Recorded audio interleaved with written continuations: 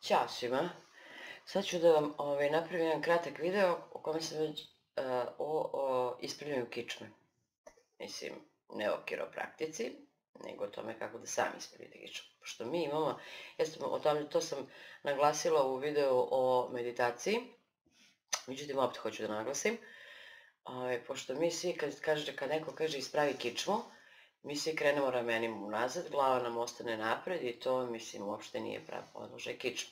I zbog toga deca, kad im kažete ispravi kičmu, mislim, znaju da, da izgledaju kod debilika, tako ono kao dignu ramena ili e, ramena im odu unazad, mislim, zaboli ih ovo ovde, ne mogu da i odmah dobiju bolove i odmah se vraćaju prvobitni položaj. Znači, nemojte nikad im kažete tako da isprave kičmu, nego im pokažete kako da isprave kičmu, a to je ovako, na sledeći način. Znači, kičma se najpravilnije ispravlja, to će vam svi uh, duhovnjaci reći, ove, kičma se najpravilnije ispravlja tako što ćete da ispravite repra. Jer mi kada mi, evo sad ću se pomerim pa ću da vam pokažem. Evo ja sad sedim ovako i ramena su mi spuštena prema napred. Kičma mi nije ispravljena, kičma mi stoji ovako. Evo sad ću da pokažem. E, vidite. I sad, da bi ja ispravila kičmu, i moram da ispravim repre. Znači, ne mogu povučem ruke unazad. To nije ispravljena kičma. Nego morate da podignete repro. Znači, kao da podižete grudi na gore, širite rebra i samim tim vam kičma bude ispravljena. Evo, sad ću da u ovom sledećem položaju da vidite.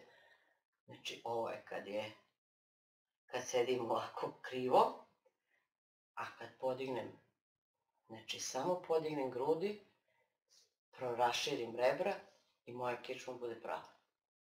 I nikada neće imati problema sa time da nećete moći da održite taj, taj uh, nivo da vam i, i, i to da vam kičma stoji pravo.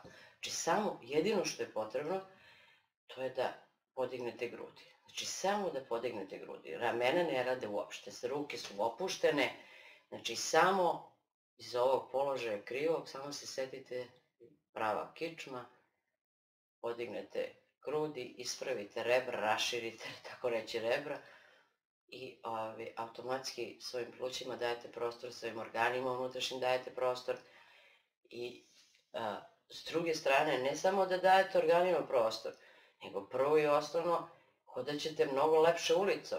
To je mnogo lepše izgleda kad vi hodate ispravljene kičme, ne mora da glada vam ide para oblake, ali bar kičma da vam bude ispravljena onda vam i korak bude lepši sve vam bude lepše. A ne idete ulicom ko, što kažu naše babe, ko luda nasta.